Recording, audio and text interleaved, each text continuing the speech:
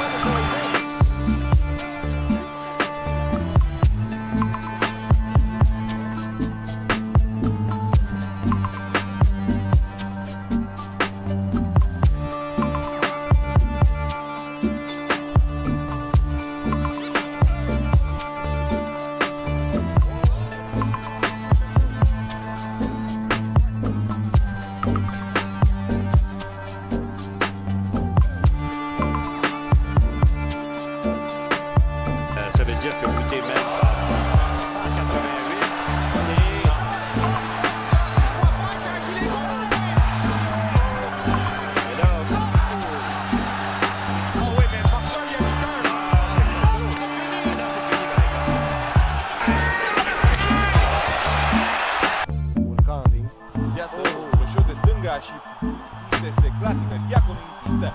O ploaie de lovituri acolo împotriva adversarului care...